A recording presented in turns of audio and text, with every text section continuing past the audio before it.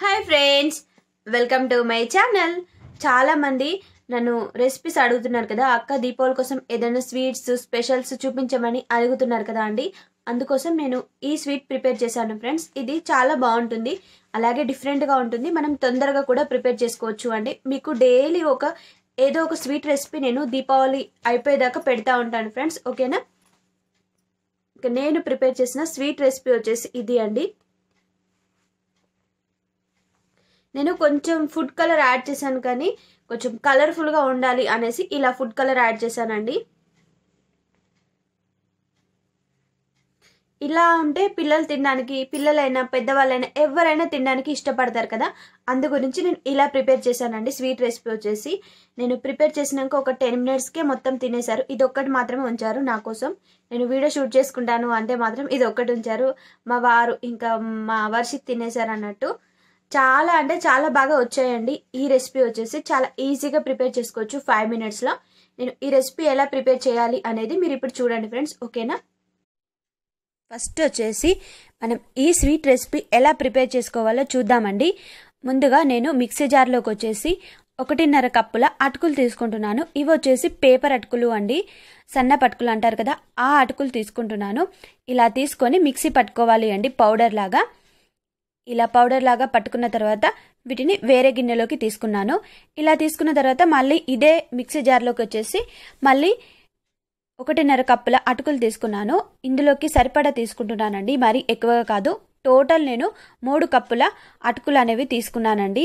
ఇలా తీసుకొని మొత్తం పౌడర్ లాగా చేసుకొని ఒక గిన్నెలోకి తీసుకున్నాను. ఫస్ట్ ఇలా పౌడర్ రెడీ చేసి పెట్టుకోవాలి అండి అటుకులతోని.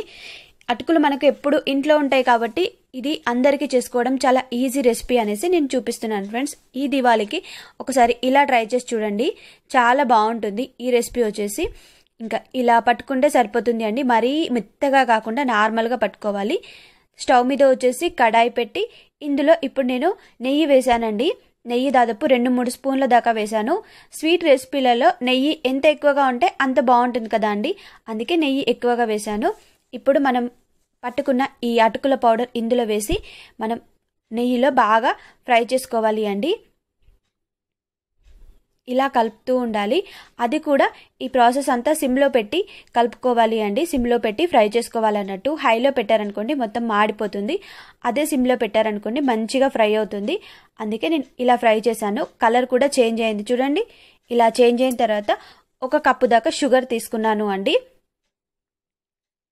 మనకు దాదాపు ఒకటిన్నర కప్ అవుతుందండి. మిక్సీ పట్టిన అటుకుల పౌడర్ వచ్చేసి దానికి ఒక కప్పు షుగర్ తీసుకుంటే కరెక్ట్ మెజర్మెంట్ అనేది సరిపోతుంది. ఇలా షుగర్ వేసి కలుపుతూ ఉండాలి. కలిపిన తర్వాత పావు కప్పు వచ్చేసి మిల్క్ పౌడర్ యాడ్ చేశాను అండి.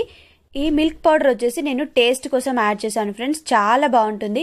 మిల్క్ పౌడర్ యాడ్ చేస్తే మీ దగ్గర మిల్క్ పౌడర్ లేదు అనుకోండి అవాయిడ్ చేయండి. నార్మల్గా అయినా పర్లేదు. ఇలా మిల్క్ పౌడర్ వేసి కలుపుకున్న తర్వాత ఇందులో పాలు మనం చూసుకుంటూ వేసుకోవాలి అండి. దాదాపు అరకప్పు పాల కంటే ఎక్కువగా పడతాయి ఈ మిశ్రమంలో వచ్చేసి. ఇవి వచ్చేసి కాచి చల్లార్చిన పాలు అండి. నార్మల్వి పచ్చి పాలు కాదు. ఇలా పాలు వేసుకొని మొత్తం మిక్స్ అయ్యేలాగా బాగా కలుపుకోవాలి అండి. నాకు ఎగ్జాక్ట్గా అరకప్పు పాలు పడ్డాయండి ఇందులోకి. అంటే అరకప్పు పాలు యూజ్ చేశాను. ఇలా పాలు వేసి మొత్తం బాగా మిక్స్ అయ్యేలాగా కలుపుకోవాలి అండి. ప్యాన్కి అంటుకోకుండా ఉండడానికి ఇలా కలుపుతూ ఉండాలి. ఇలా కలుపుతూ ఉండగానే కొంచెం ఇది గట్టి పడుతుంది అండి.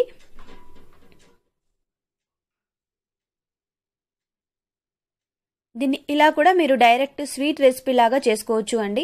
కొంచెం కలర్ఫుల్గా కావాలి కొంచెం స్టైలిష్గా కావాలి అనుకునే వాళ్ళు ఈ ప్రాసెస్ యూజ్ చేయండి ఫ్రెండ్స్. అంతే. ఇప్పుడు ఇందులో నేను కోవా వేశానండి. పచ్చికోవా ఇది నేను డీ ఫ్రిడ్జ్లో పెట్టాను. అందుకే ఇలా పొడి పొడిగా అయింది అండి.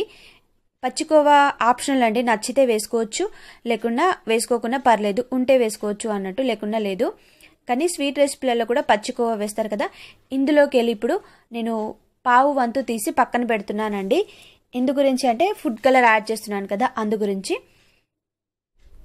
పావు వంతు అయితే సరిపోతుందండి. ఇంకా నేను ఇందులో గ్రీన్ కలర్ అలాగే కుంకుమ పువ్వు కలర్ రెండు యూస్ చేస్తున్నాను friends first green colour use చేస్తున్నాను. గ్రీన్ కలర్ వచ్చేసి నేను చిటికెడు తీసుకున్నానండి. ఇది స్టైలిష్గా ఉండడానికి మాత్రమే యూస్ చేస్తున్నాను ఫ్రెండ్స్. ఈ ఫుడ్ కలర్ వచ్చేసి మీకు నచ్చలేదు అనుకోండి ఫుడ్ కలర్ వచ్చేసి అవాయిడ్ చేయండి ఓకేనా? డైరెక్ట్గా కూడా ప్రి ప్రిపేర్ చేసుకోవచ్చు. ఇప్పుడు ఇందులో కొంచెం బాదం జీడిపప్పు పౌడర్ వేస్తున్నానండి. ఇలా ఫుడ్ కలర్ అంతా కలిసిన తర్వాత ఎందుకంటే టేస్ట్ బాగుంటుంది. ఇంకా పిస్తా వేసుకుంటే కూడా బాగుంటుంది కానీ ప్రస్తుతం నా దగ్గర పిస్తా లేదు అండి. మీరు ఏ డ్రై ఫ్రూట్స్ అయినా వేసుకోవచ్చు ఇందులోకి. కాకపోతే ఇలా తురిమి వేసుకున్నారనుకోండి అందులోనే మిక్స్ అవుతాయి. మనకు తినేటప్పుడు తగులుతూ ఉంటే కూడా బాగుంటుంది. ఇలా మనం ఫుడ్ కలర్ యాడ్ చేసింది ఒక గిన్నెలోకి ట్రాన్స్ఫర్ చేసుకోవాలి అండి. ఇవి ఆల్రెడీ చల్లారింది ఈ మిశ్రమం వచ్చేసి అందుకే నేను ప్లాస్టిక్ బౌల్లోకి తీసుకుంటున్నాను. ప్లాస్టిక్ బౌల్లోకి కాకుండా మన దగ్గర కేక్ బౌల్ ఉంటుంది కదా స్క్వేర్ షేప్ది అలాంటిదైతే ఇంకా బాగుంటుంది కానీ నా దగ్గర లేదు అండి. అందు గురించి నేను ఇలాంటి బౌల్ తీసుకున్నాను. ఇలా మీకు ఎంత పడుతుంది అనిపిస్తే అంత ఒక లేయర్ లాగా పెట్టుకోవాలి అండి. మధ్యలో నేను ఇందాక విడిగా తీసాను కదా. దీనిలో నేను ఎల్లో ఫుడ్ కలర్ అనేది యాడ్ చేశానండి. ఎల్లో ఫుడ్ కలర్ కొంచెం అలాగే ఇంకా కొంచెం ఏమంటారు కుంకుమ పువ్వు కూడా యాడ్ చేశాను ఫ్రెండ్స్. అందుకే కలర్ రెండు మిక్స్ అయ్యి ఇలా వచ్చింది. ఇలా ఫుడ్ కలర్ యాడ్ చేసి చేస్తూ ఉన్నాను. ఎందుకంటే దీవాళికి అందరు స్పెషల్గా ఉండాలి స్వీట్స్ అనేసి ఆలోచిస్తారు కదా అందు గురించి నేను ఇలా కొంచెం స్పెషల్గా చేయడానికి ట్రై చేశానండి. ఇందులో కూడా బాదం జీడిపప్పు పౌడర్ వేసుకొని బాగా మిక్స్ అయ్యేలాగా ఇలా కలుపుకోవాలి అండి. ఇలా కలుపుకొని ఇప్పుడు ఈ లేయర్ని కూడా మనం ముందుగా రెడీ చేసి పెట్టాం కదా గ్రీన్ కలర్ లేయర్ దానిపైన వేయాలి అండి. అలా వేసే ముందు మధ్య మధ్యలో ఇలా బాదం జీడిపప్పు పౌడర్ లాంటిది వేసుకుంటూ చేశారనుకోండి మనకు తినేటప్పుడు మంచిగా అనిపిస్తుంది. అందుకే నేను ఇలా చేస్తూ ఉన్నాను. ఇప్పుడు మనకి ఇది స్వీట్ రెసిపీ కాబట్టి దీనికి అతుక్కపోతుంది అండి. చూసారా? ఇలా ఒకదానిపైన ఒకటి లేయర్ లాగా వేయాలి అండి.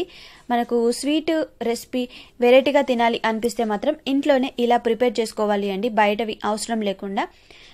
చాలామందికి వైట్గా తినడం నచ్చుతుంది కానీ కొంతమందికి కలర్ఫుల్గా తినడం అప్పుడప్పుడు ఇష్టం అనిపిస్తుంది అండి. బయట చూసిన వాటితో అడుగుతారన్నట్టు. అందుకే నేను ఇలా ప్రిపేర్ చేసి చూపించానండి.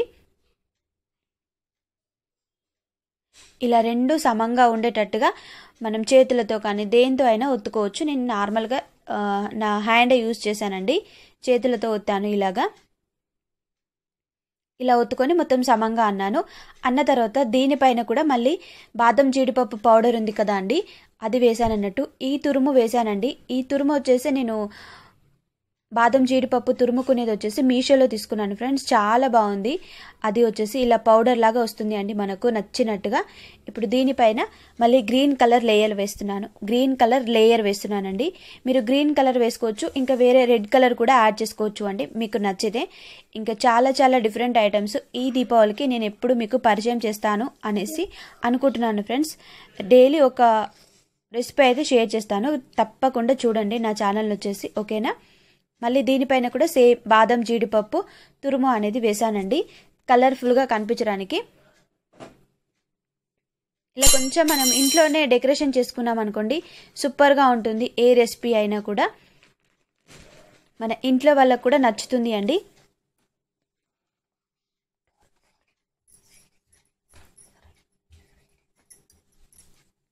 చూసారు కదా ఫ్రెండ్స్?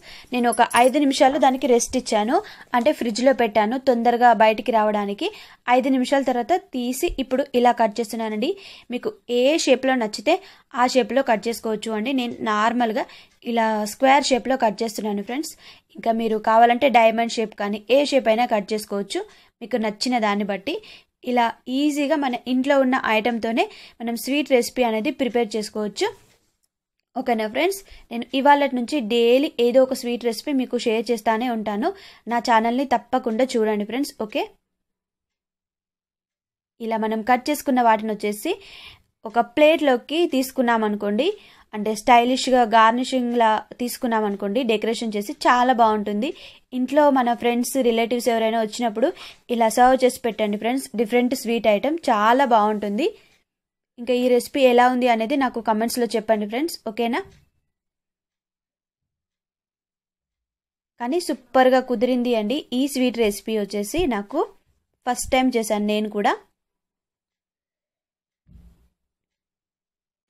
చూసారు కదా ఫ్రెండ్స్? స్వీట్ రెసిపీ ఇంత ఈజీగా ఎలా ప్రిపేర్ చేశానో మీకు కనుక ఈ రెసిపీ వీడియో నచ్చినట్లయితే నా వీడియోకి లైక్ చేయండి అలాగే షేర్ చేయండి కమెంట్ చేయండి సబ్స్క్రైబ్ చేసుకోండి ఫ్రెండ్స్. ఇలాంటి కొత్త కొత్త వీడియోస్ ఎప్పుడు కూడా పెడతా ఉంటాను. ఇంకా జాగ్రత్తగా ఉండండి friends. Bye bye take care friends